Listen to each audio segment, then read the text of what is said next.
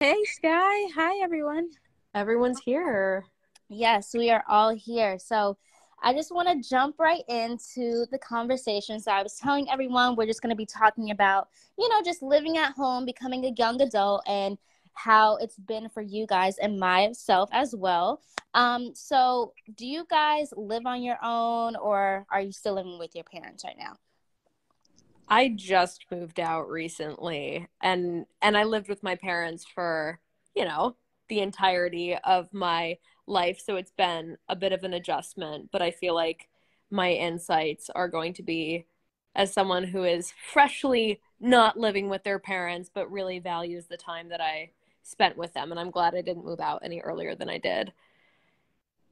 Yeah. Same here. Yeah, I I don't think there's a rush. No, there's not a rush. I'm I, I'm 19, so I still live with my mom. It's me and my mom, but I recently got a car, and it's like I barely see my mom in a sense. It's like we, of course, will see each other when we get home, but I'm out doing my own thing, working. So I'm honestly not in a rush. I feel like a lot of people feel like you have to be in a rush to move out and be on your own. But I think it's different for everyone. And I think you should just go on your own pace. So yeah, I'm, for oh sorry, go ahead. Oh, no, you go ahead. You go ahead. You go ahead. no, I was just gonna say I currently live on my own. Um, but it's funny because I actually just purchased a home. So while that's like being like built basically i'm like about to be living with my parents for a little bit nice. so so it's like a flip flop back back to when i was younger um which is fine but yeah there isn't a rush but I will say, I know me personally, when I was living with my parents younger, I definitely was like ready to go, you know? And it was like, mm-hmm.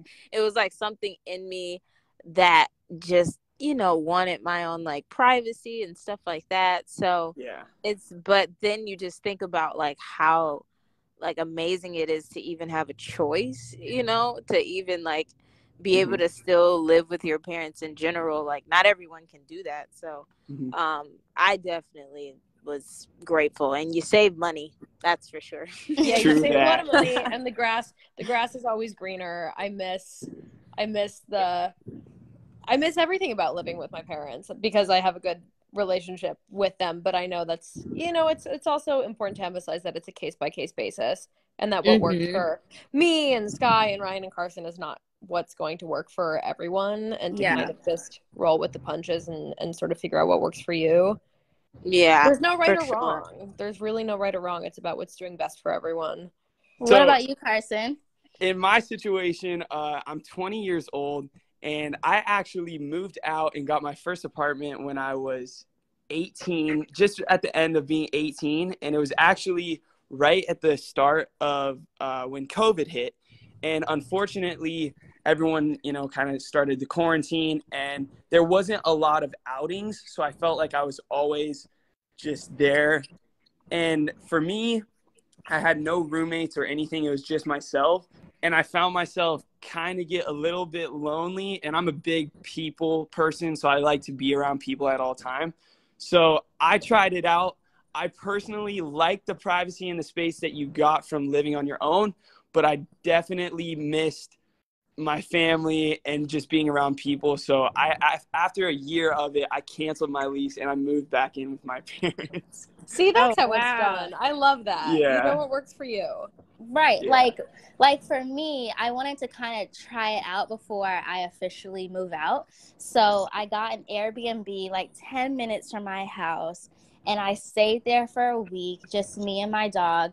And when I tell you, it was like so lonely. Like I was by myself. I had to go supermarket, shop it for myself, and do everything. Like my mom would come and visit maybe once every three days just to pop in, maybe drop something off for me. But I yeah. realized like I miss my mom. Like I don't know if I'm ready to move out and like be fully on my own yet.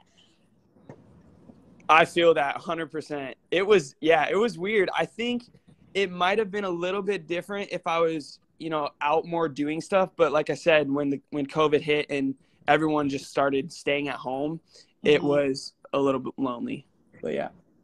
So, what are some things for you for you guys that your parents did for you, whether it's cooking, laundry, and then when you moved out, it was very hard for you to like do or get into like what is that thing? Cuz for me, it's it's cooking. Even though I live with my mom, sometimes she's been letting me cook on my own and I just feel like I need help or even when it comes to like gas in the car, I'm like, "No, I I can't do it." So, what are some guys some things for you? I think Um, for me, I it's like the community, right? You know, like sitting at home and watching TV with your parents. I know that's not really a task, but there's something so pleasurable about doing that with your family. And I think that's the Yeah. main thing that I miss. Sorry, Ryan, I cut you off there. No, you're fine. I was I was gonna say for me, I think um, grocery shopping. grocery, grocery shopping really got me. I I originally moved um and started living on my own when I turned 21, or I was 20, one of those, and I just remember that being like a big adjustment because it like you don't realize how much you have to go. yeah, it's Yeah. it's like it's so much and it's just like just the things that you don't think about like and that was definitely one of them Yeah, and just restocking a pantry. I feel like when you live with your family, all the spices have already been there, all the flours are already there, you know, all the essentials. But if you move into a new place, you're like starting uh, from zero. And I feel like that's stocking one's pantry for the first time can be a terrifying experience because you just realize how much you need. yeah I feel that. For me, I would say uh, I live in Washington part time. I'm back and forth, uh, Los Angeles and Spokane, Washington. Uh, but we actually live on a lake. So with my parents, uh, living with my parents, being able to enjoy the lake and boating and jet skis and just all of the outdoor activities. We kind of live in the country. It's about 30 minutes away from like the nearest store Mhm. but just being able to enjoy some of those outdoor activities uh, would probably be the most uh, enjoyable thing that obviously I didn't have in an apartment in Los Angeles. yeah Yeah. Um yeah, like I was saying for me cooking that's one thing like even when I went to the Airbnb for a week by myself, I was like, "Oh my god, like what am I going to do? I had to make food for myself. My mom's not here to do it for me. I had to do laundry, supermarket shopping. It was just so much, but I think that week really helped me. It kind of got me into that mindset of what it would be when I move out on my own. And Mhm. this is before I had a car. So now I finally got a car. And what's crazy is I still don't know how to pump gas in a car, but I have, I know. it's Go ridiculous. electric. Go electric. I have a Tesla. Thank God. I have a Tesla. So I Oh, just charge my car and I'm ready to go. But now that I've had a car, um, I'm like, okay, like I want to go supermarket shopping. So like just a couple days ago, I took the priority to go and I made like some stuffed bell peppers. Like I'm starting to do things on my oh own. wow shout out to Mhm. you Hey. yeah i can't i still can't cook so that that's great the You only thing that I know how to make is like barbecuing. I can make burgers, steak, or anything with Mhm. the grill, but when it comes to like actual baking and all that, oh, count me out. I've got See, to I love cooking. I, I'm the odd man out here. I have always, even when I was living with my family, sometimes I would just make myself meals for myself because I was on a little bit of a different schedule than them. I used to always eat like way later because of my mm-hmm.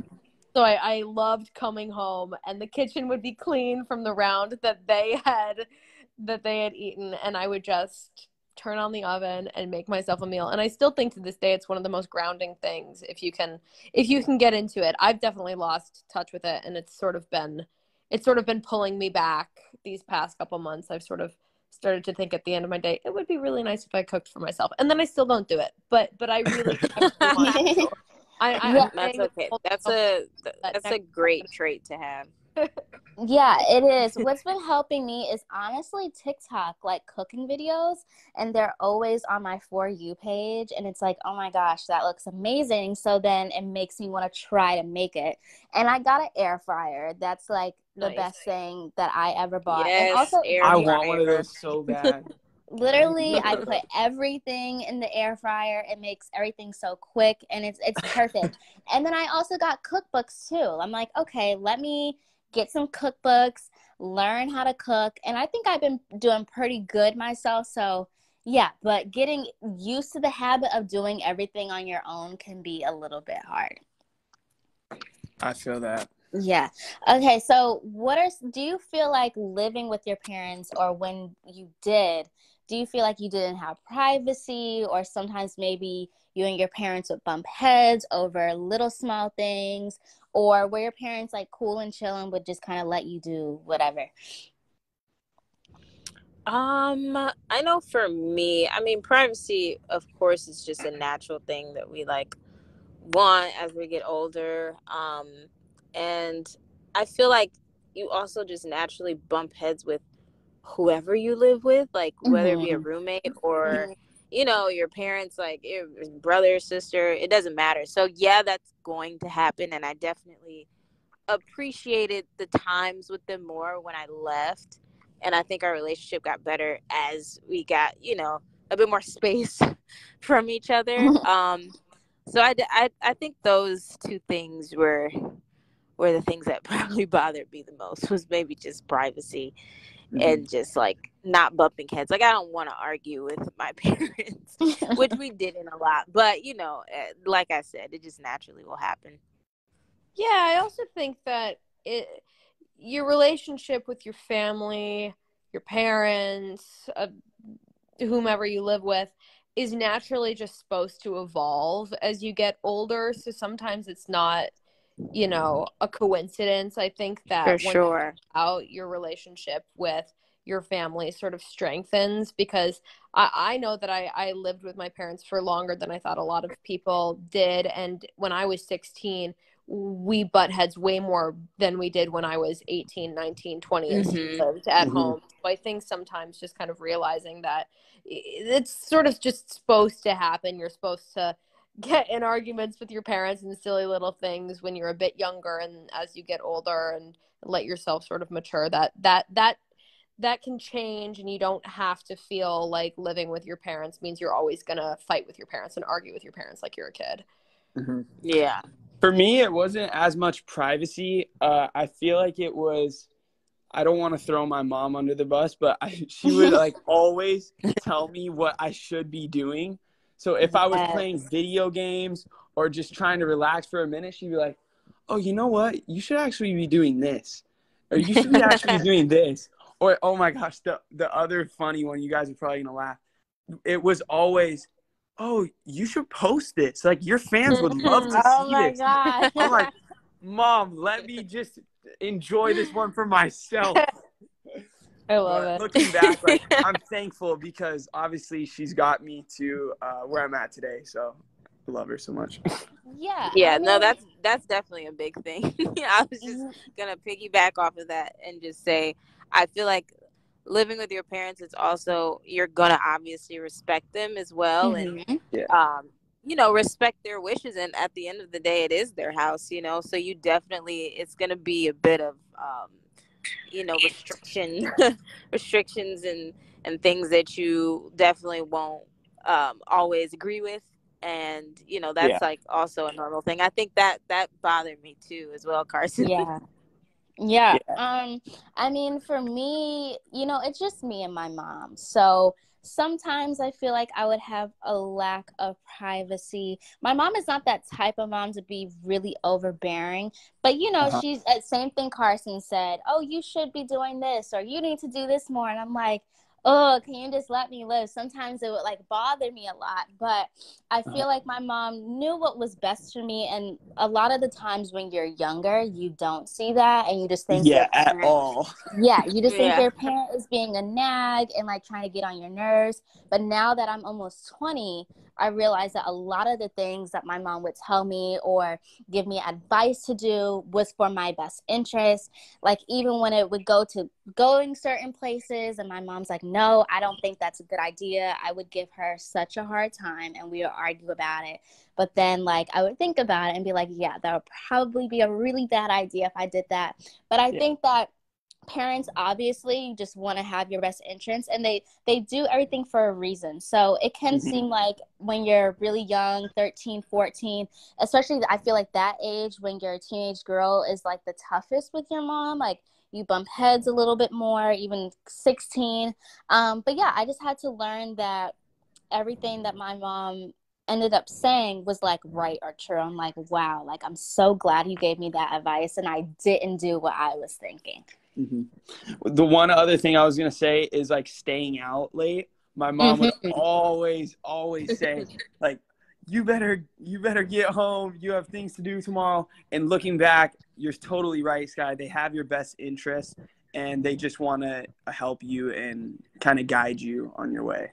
Yeah, like a lot I would have a lot of friends when I was like 14. A lot of my friends are like a year or two older than me, mm-hmm. and they would not have a curfew at all. Like my 14-year-old friends would be out till like 2 in the morning, 3 in the morning, and I thought it was like so cool and I'm like I want to do that too. Like I want to hang out with them. And my mom was texting me at like 7:30 like you need to be home in an hour. and that would like I would be so mad. But now that I think about it, like, what is there really to do at three in the morning? Like, Yeah. people My are parent- sleep. Yeah, people are sleeping. Like, what? There's no point to be out, anyways. My my dad's saying was nothing good ever happens past midnight. Yes, for real. And now that I'm older and I can stay out longer, like, I don't have a curfew now. But when I'm out and it's like 10, 10 30 close to 11, I'm like, I'm ready to go home. Like, Yeah. I. I don't want to be out. Like the old me would want to be out and be doing all these fun things. But now I'm very much of a homebody. I love being at home. I Mhm. love being with my dog, watching movies, doing college work. Like I just like being in my own space, you know? for yeah, sure. I've gone through phases. I feel like there's there's there's power in just kind of doing what you want and for me that's always been different. I used to be such a homebody and I used to always want to be in bed by like 11 p.m. on a weekend. And I found myself in a phase recently where I kind of don't want to do that and I think that's totally valid and cool too. It's just a matter of making sure that you're making the decision that you want to make instead of someone telling you that this thing is going to be fun. Like you Mhm. know in your heart if you're going to have fun if you stay out for another hour or not you Yeah. know as long as you go home when you want to go home because you're truly not having fun at the place that you're currently i, I think that i think then you're going to do the right thing i think that's Yeah. sort of sort of the vibe these days at least for me Yeah. So for you guys, like what when you were younger, what age did you want to move out of out, out of the house of? And then when did you actually move out? Cuz I know for me, like when I was 15, 16, I thought I was so grown and I'm like, "Oh my god, like as soon the day I turn 18, I'm out of here. I'm finding my own place. Like I just want to be on my own." But now that I'm almost 20, I'm like, "Thank God I didn't do that." Like, no.